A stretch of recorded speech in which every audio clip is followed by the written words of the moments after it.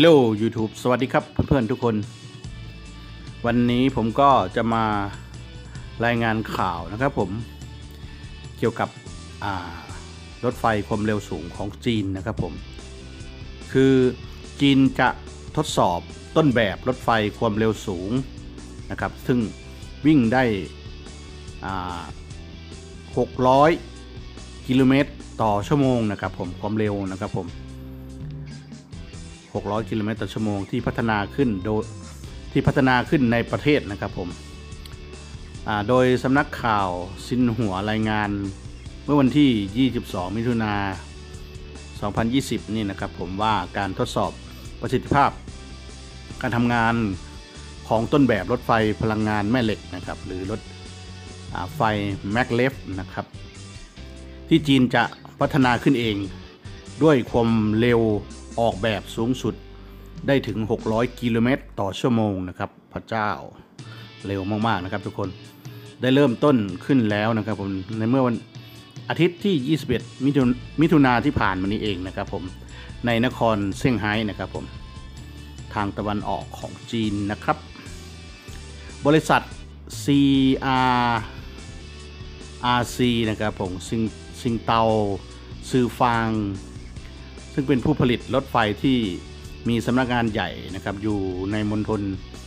ซันตุงทางตะวันออกของจีนนะครับ เผยว่าต้นแบบรถไฟที่มีเพียงหนึ่งตู้ที่ได้รับที่ได้ทำการทดสอบในครั้งนี้นะครับ ผมจะช่วยตรวจสอบและปรับปรุงประสิทธิภาพของเทคโนโลยีสำคัญต่างๆนะครับ รวมถึงส่วนประกอบต่างๆ ของระบบหลักของระบบ รถไฟแมกเลฟความเร็วสูงนะครับ รวมถึงเป็นการวางแผน เป็นการวางรากฐานทางเทคโนโลยีสำหรับต้นแบบทางวิศวกรรมในอนาคตด้วยนะครับผม คือบริษัทเผยว่าระหว่างทำการทดสอบเดินรถครั้งแรก บนเส้นทางทดสอบรถไฟแมกเลฟในเมื่อวันอาทิตย์ ที่ 21 มิถุนาที่ผ่านมานะครับผมบริษัทได้ทำการวิเคราะห์ส่วนประกอบมากกว่า 200 จุดนะครับ เช่น สภาพการทำงานของประแจ ทางโค้งขนาดทางโค้งขนาดเล็ก แล้วก็ทางทางชันนะครับผม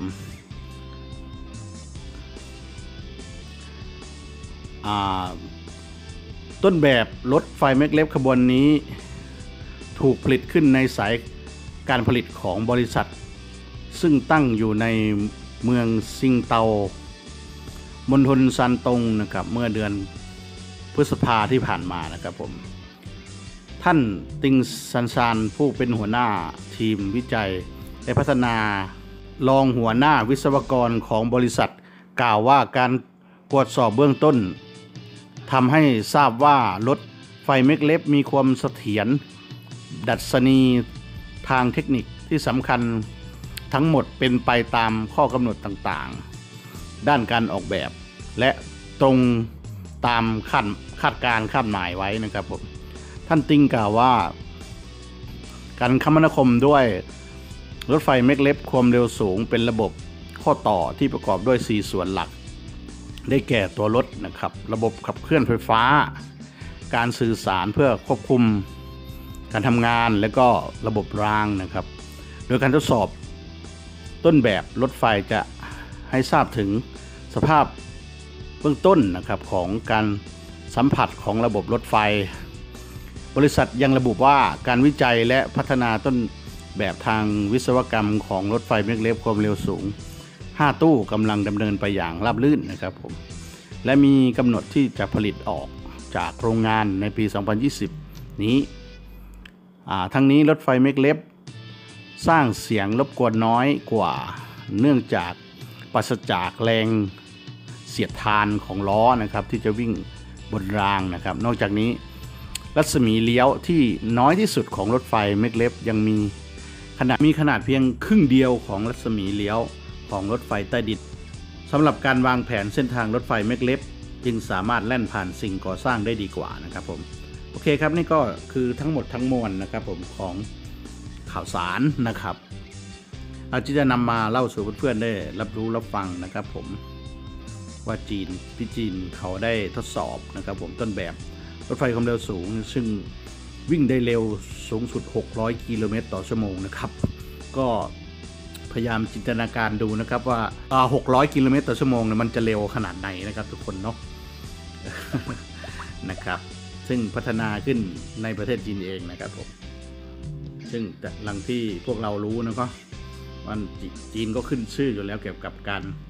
สร้างรถไฟความเร็วสูงนะครับผมเท่าเทียมกับญี่ปุ่นได้แล้วนะครับผมโอเคครับสำหรับคลิปนี้ก็คงจะมีเท่านี้แหละครับทุกคน เจอกันใหม่คลิปหน้าครับผม บ๊ายบายครับ ขอบคุณมากครับที่รับชมรับฟัง